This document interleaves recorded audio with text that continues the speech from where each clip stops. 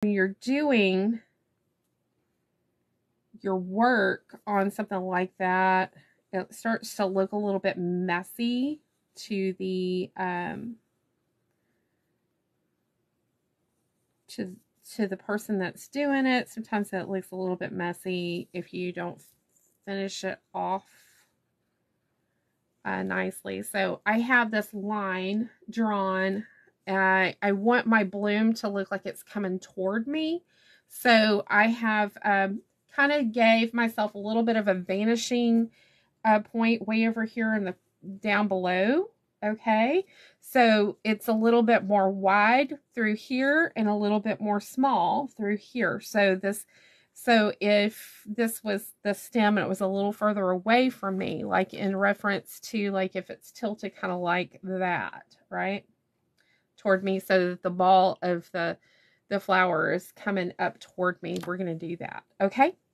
We're going to trick out some, trick out our eyes. Now, I don't have a globe dandelion in front of me, so I'm going to do this from memory. So I'm going to be really giving myself a lot of grace. I could run out to the yard probably right now and grab one from the yard, but um, I don't know.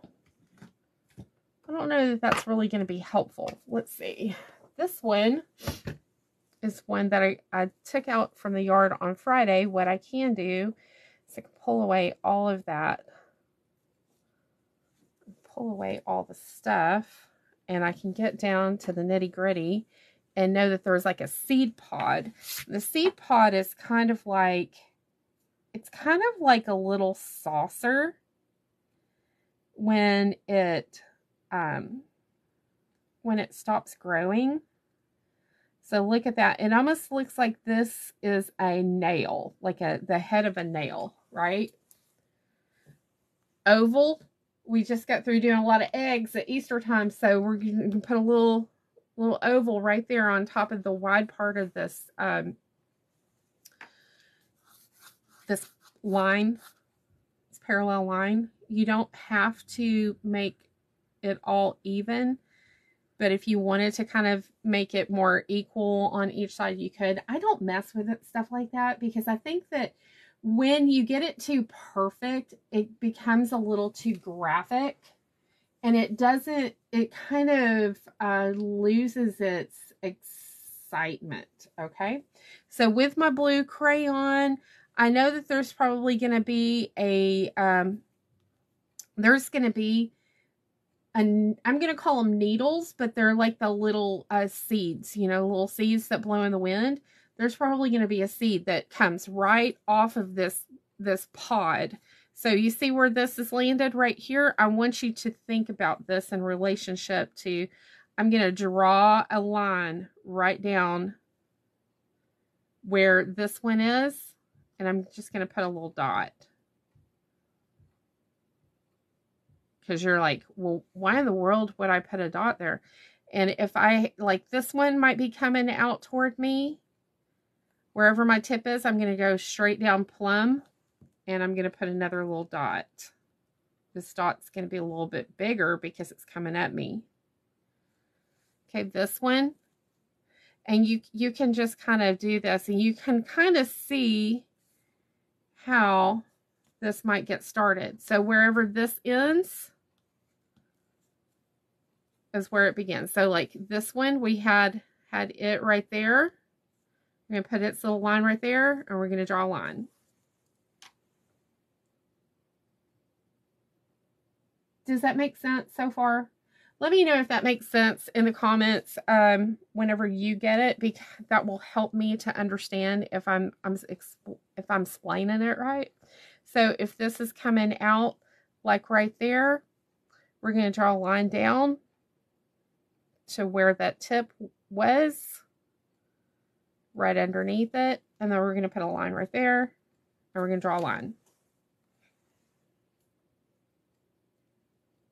Does that make sense? Okay, and then like these things have like hundreds of leaves. Now you can put your crayon away if you kind of got what I was what I was getting at. You can kind of see how this this is going to go. So you can you can freehand it a little easier knowing that. It, it starts to just build out. At some point, you're going to change the color of your, your lines. Okay, because here's the thing. Um, maybe I should have brought one from the yard. These little furry guys, they look like this. They have a seed, right? And then they have like this little, um, little stalk, right? And then they have this little thing that happens like this, right? Up in the air and they blow in the wind, right? Okay, well, once we get our stems down, we're going to start, um, we're going to put some of those little guys all over the place. But if you start getting confused, do that method again. This will kind of help you. This is your crutch. Draw that line right down here. And you can draw whatever is going to be coming at you a little bit more. Draw that where it's a little, little bigger pin at the end. Okay.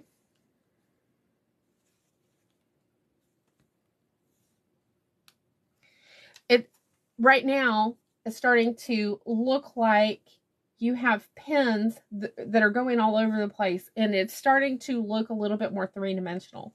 Hopefully by now, by doing that little method that I just showed you. When your pins, your pin heads are thicker at the top, that's because they're closer at you. If they're thinner at the bottom, they're further away. Does that seem like that would be true? And then you can just kind of build it out and start layering on those lines.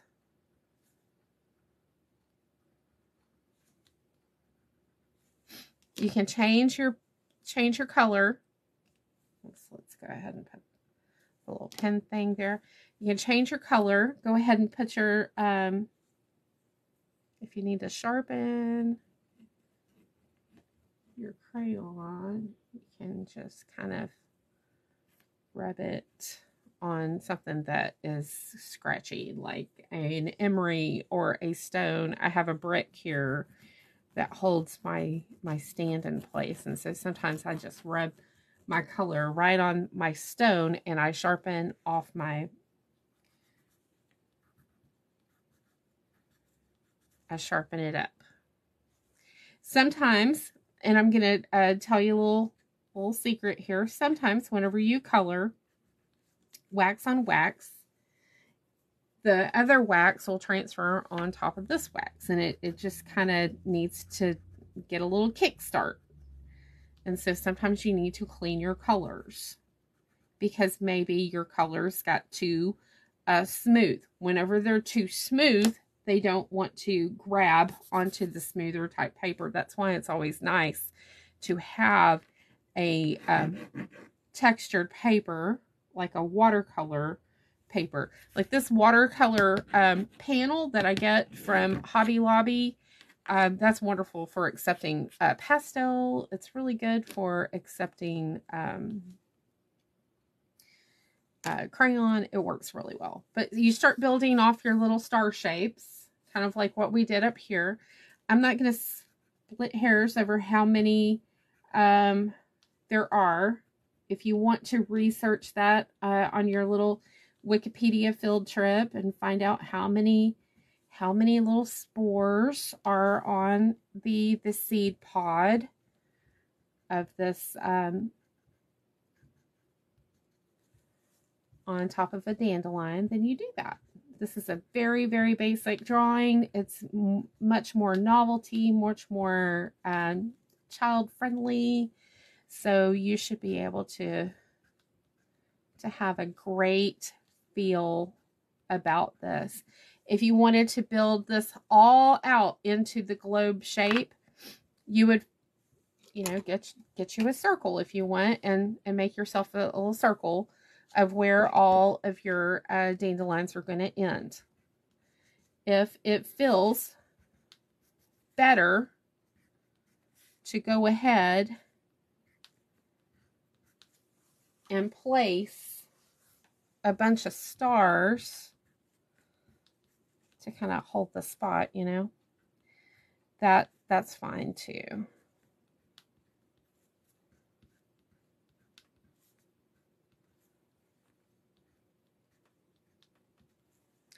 if you go around town right now, probably in your area, unless it's covered in snow, they don't have to go all the way down. You can just kind of uh, fake it. If you go around your town, if your town's anything like my town, um, my town's a little bit more country, uh, more rural, rural, yeah. Um, we have golf courses all over and uh, you can see the dandelions are growing in the golf courses that haven't been completely wrecked with broad spectrum spray.